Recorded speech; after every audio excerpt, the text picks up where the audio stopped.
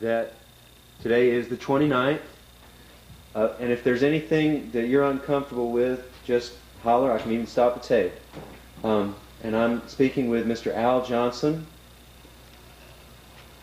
from Lexington, Georgia, Right. here at the Oglethorpe Regional Library. Right. And I'm wondering if you could share with us some of your experiences during the World War II era. Well, first thing, I, I joined the Navy and I wasn't but 16 years old and I was going to win the whole war by myself. I found out I did, but it took a couple million other guys to help me. Um, no, I was in the Navy and I was in an outfit called the Beach Battalion. I don't know where, don't many people know nothing much about the Beach Battalion. But uh, the Army had to have somebody to get them to the land and that was us. That's what we did.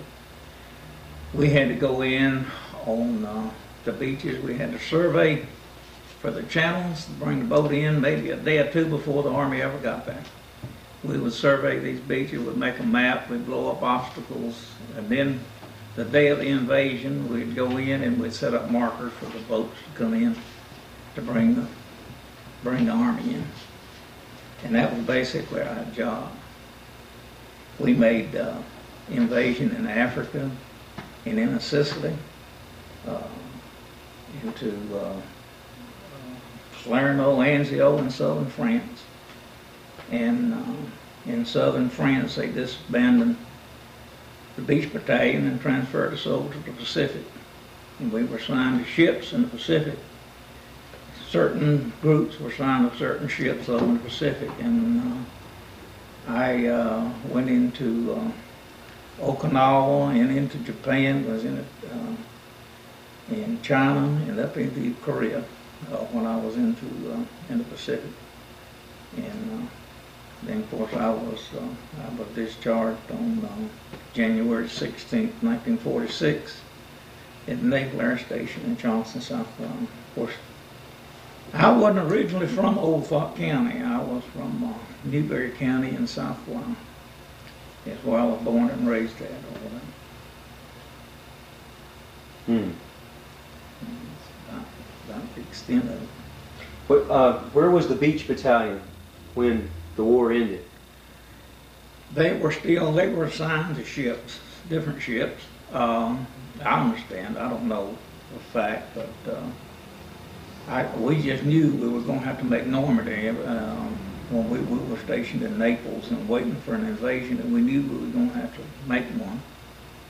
And, uh, we figured we were going up into northern France, but when they announced that, uh, they had the invasion of Normandy, we were still sitting in Naples. And in Whammo, they sent us up to uh, southern France and uh, made the invasion and done that up there. Of course, southern France was the easiest one made. If it was an easy one to be made, it was the easiest one to make. Uh, we didn't have as much opposition in southern France as we did. We were on the beach in Anzio for about 80, 80 to 90 days. I think we were pinned down for 80 to 90 days in Anzio. We stayed right there with the army. We wore army uniforms. Nobody knew we were Navy. We wore army uniforms. Was there any rivalry between the services, between the Army and the Navy? No, not, not back then. There wasn't. I mean, not while doing combat. Maybe back on the States, yes, but not, not over there. No, everybody tried to work together. We took, um, we worked with the British. We took, uh, we took one, uh, division of the British in in Salerno. We worked with the British in Salerno. We took those and took those guys. Back then, as they lost the beach in Salerno, we had to go back up and take it back and then get them back in there. In Salerno. Was that un, was that Montgomery's forces of British? Uh, no, Montgomery was coming up on the other side. I don't know, I don't know who the commander. Uh-huh.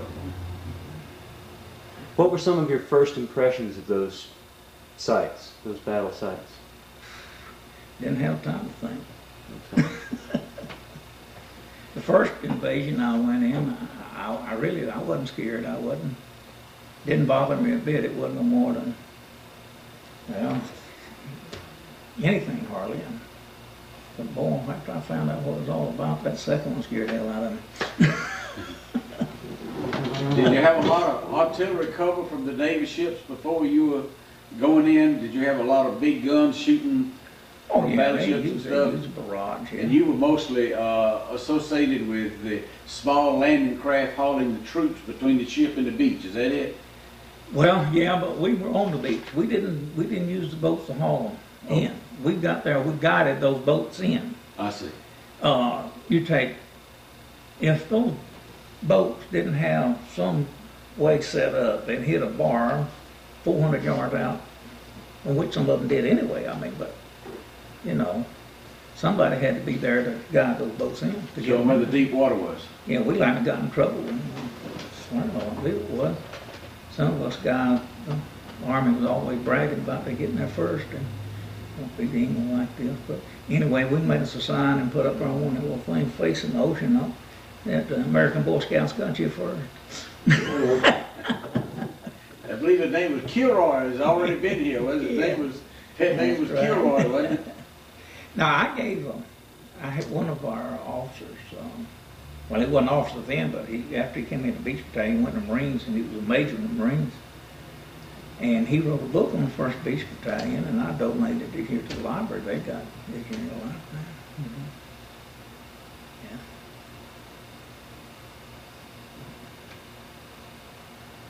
That's about, well, there's a lot of things that, I mean, that happen. I don't know any guys that they talk about. I tried to forget most everything, a lot of the things that I've seen, and, and my wife tried to get me to talk about some of the stuff like that. I'd rather not get it back in your head and get it going. Just don't. It don't do no good. It's over with. Well, Were you with a unit of uh, say 25 or 50 men or something like that, and you were with them every day? It was 400 of us. 400 of them. Four hundred men. Were there some colorful characters in those 400? Well, they all, you get four hundred people together, guys, anywhere from sixteen to twenty years old, you already got, you got some cut-ups. Yeah. Was the food pretty good? Was the food pretty good? Food, pretty good. Well, you hear what Hubert said, it was the same basic thing with us, we used K rations, C rations, five and one rations, which I noticed that uh, Hubert didn't mention, but the five and ones are pretty good. What was that? Well, it, you could come in a package, five people out of, eat out of one pack, they call it five and one. You had canned peaches and stuff, and fuel stuff. It was a little better than C rations and K rations. When you get a hold of them, and of course, you come across a field of onions, you tuck that, and you use them with your powdered eggs, you could chop up your onions and your powdered eggs and make them taste a little bit better. Didn't have too much coffee, did you? Man, I'll tell you what, just soon drink i- iodine as I had the coffee. Take uh, coffee and you get the water out of one of those Lister bags out there in Africa on the desert and it had so much chlorine in it and you had this little can of canned heat and you took one of your canteens and you put one of them little coffee things in there and I believe goodness you poured it on you with a heel. It'd been as good as iodine. Yeah. Well, they now they call those uh, the units like you in kind of like the SEALs are today. Y'all go in the first and demolition of the uh, obstacles like concrete bunkers or concrete chunks in the water or something. Yeah. Y'all did all of that. Yeah. Mhm. What we had to do. Yeah. Did you get too close to the enemy, or were they shooting at you pretty much? Well, I don't know how close you call it, but when we go in there, when you got a sand dune on the beach, and you're looking over the sand dune like that, and you see a tiger tank, and the guy looking at you on the other side, I don't know how close you call that. Yeah, pretty close. Tiger behind the sand dune, huh? Huh? A tiger tank behind the sand dune. Yeah, I guarantee you. You're right there with them. Oh, well, it wasn't bad. We didn't have to stay in it too long we made, you know, we made the beach. Two, three weeks, month. Longest we had to stay was in Anzio, on the beach. We had to stay till the beach was secured, and the Army had enough foothold to go, that's, it- and and then that, that the supplies could be brought in at a port somewhere. Did y'all have to put up any portable, uh, seaports or something? Oh, yeah. That was part of the Float job. pontoon, pontoon docks and that kind of stuff. Yeah, we did. They have scuba divers in those days. They had some, but I wasn't, I wasn't in that, I wasn't part of that.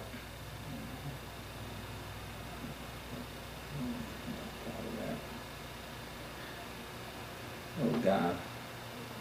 Part of the outfit did, but I didn't, I didn't. When you went into the Navy, did you have any idea what you would be doing? You, uh, No, Lord, no. are they just, so this group is gonna be beach boys and so on, and another group is on a carrier or something? Well, I first started out there on the LST and they asked for some volunteers. They said, I want some volunteers, you, you and you. You know, this is strictly a volunteer outfit. I want you, you and you. You got it now. Then they took, uh, off LST into, uh, Camp Bradford, Virginia, Little Creek, Camp Bradford. It was amphibious training sent us straight in on, oh, we didn't know what we were getting into. I What was the difference in you and the Seabees? Seabees was a construction battalion, Seabees. Seabees came in and constructed like, uh, temporary landing strips and, uh, temporary housing, temporary this and that, and the they were just act, just construction battalion. Yeah. Tough outfit. We worked with Seabees a lot. Was the Seabees a Navy division or an Army division? Navy, Navy, okay. Part of the Navy too. Yeah, after we got, we worked with engineers, Army engineers, First Ranger Battalion, Fortieth Engineer.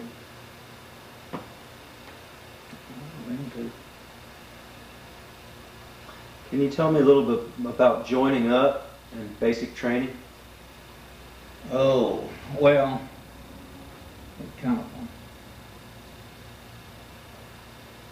a long story really, but I was, my mother died when I, I mean, my father died when I was seven years old, and my mother died when I was fourteen. And we had a little farm over in South Carolina, and I stayed over there till, and made my own living, I mean, by myself, stayed by myself. Till I got old enough, and I said, well, it got to be, can't be much worse than this. So I decided I'd go in the Navy. Yeah, sure did. Where did you go to Charleston? No, I went to, uh, I first went to Columbia, South Carolina, and then sent to Norfolk, Virginia. Where were you when the war was over now, and how'd you get home? When I went, I, uh, we were headed, uh, we went to Okinawa, we rode out, we were riding out, uh, a typhoon in Okinawa on the ship. And, uh, then we went, after that, we went into Tokyo Harbor, Tokyo, Tokyo Bay, when that's Peace Treaty was being signed. I was in that bunch there. And then we had to go up into, uh, we went up to, um, up to Hong Kong and picked up a load of Chinese troops and took them up in the North China. They were fighting each other then, you know, started fighting each other after that. Then we picked up some more, and one of the was in China, and took them over to Korea. And we come back to Hong Kong, and when the ship was coming back into Hong Kong, they had an awful low, I mean, high and low tide there. We came in low tide, and the buoy, buoy marker was way out, and the cable was there, and we run over a darn cable. Messed up the shaft on the ship, and we had to come back to Seattle. I suppose they had done got out then, they wouldn't let me out, they didn't have any replacement, and, uh, when we came back to Seattle, uh, we stayed there, went in dry dock, and stayed there till I got discharged. Got out January sixteenth, forty-six. Did you go back to Newberry then? Well, kind of funny. My brother lived in Atlanta, and when I got home, he was there, and I had an old uh, 36 Oldsmobile, I believe it was. It'd been sitting there, and I got that thing to running, and took him back to Atlanta, and I never did go back. I stayed there till, uh, 'cause my wife is from Oglethorpe County, you know, she's from Oglethorpe County. I met her, she was Secretary Sears. Met her and we got married. That's how I wound up in Oglethorpe County.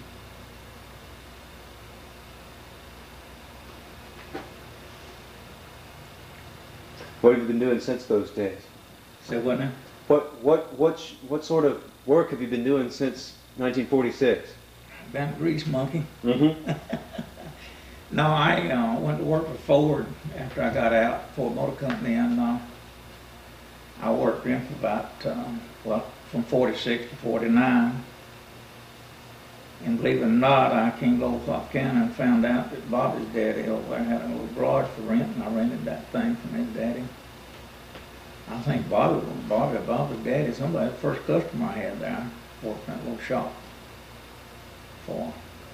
I remember the price of the rent, it was ten dollars a month. Yeah. And he took it, took it out in Weldon, Yeah. took out the rent in Weldon. But anyway, I, uh, I run that shop there for, I don't know, probably a couple of years, and I bought some land down in Highway twenty-two seventy-eight, and opened up a salvage yard, and run a garage there. And, uh, in nineteen sixty-three, I bought a Ford place in Crawford, I've been there since nineteen sixty-three, I've been there thirty-one years, Ford Mhm. dealer in Crawford.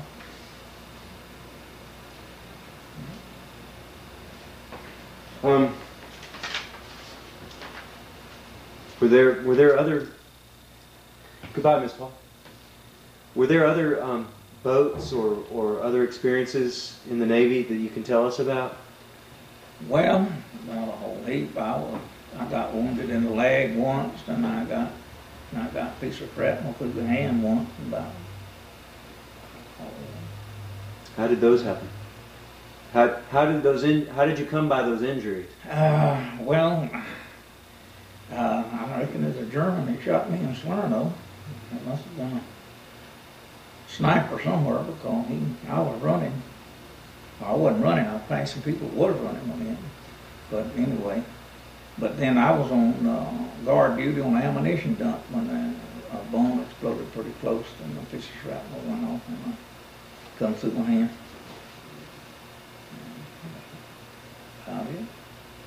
How'd they treat you for those injuries? Yeah, that's like it wasn't done. I stayed, I, I had more trouble, of course I did. It mostly got just a muscle in the leg and, that, uh, I thought it wasn't no problem at all, but I got infected, it got infected and I stayed in a field hospital for quite a while. Get that well, but after that. Of course, a hand wasn't nothing no more than just was good with a hammer or something, you know. Did you have any other family aside from your mom and dad? Well, I had, uh, I had a brothers and, uh, three sisters. Mm-hmm. My brother, he was in the merchant marine. He was in the merchant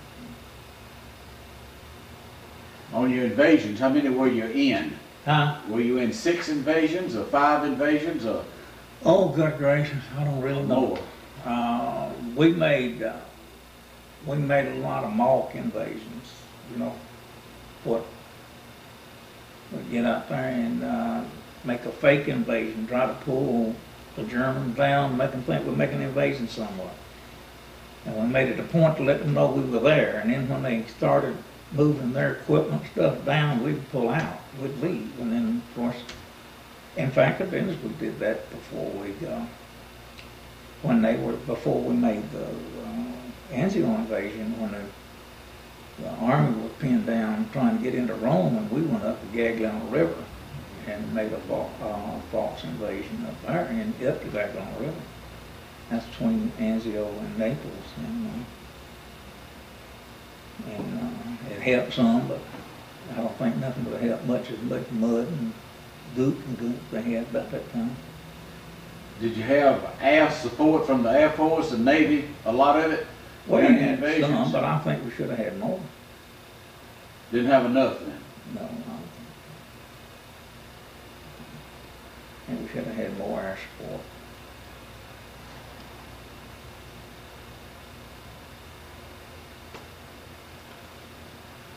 Well, if you were speaking to a new generation of folks about those days in the World War II era, what would you want to leave behind for them? Well, one of the things that I'd, I will tell them that uh, they need to be more patriotic. They need to quit fighting each other. And, uh, try to get along more with everybody.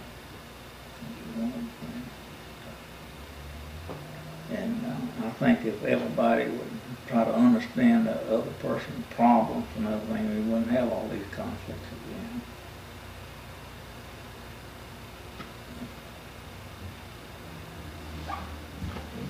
Is there anything you'd like to add about this period or about your time in Oglethorpe County? Anything you'd like to add to the record here? Well, when I come out, when I come out of the Navy, I, uh, I said that I was gonna try to find me the best place in the world to stay. And when I come to Georgia, I said, well, I found the best state. And when I got to Oglethorpe County, I said, I found the best county and I'll be here the rest of my life.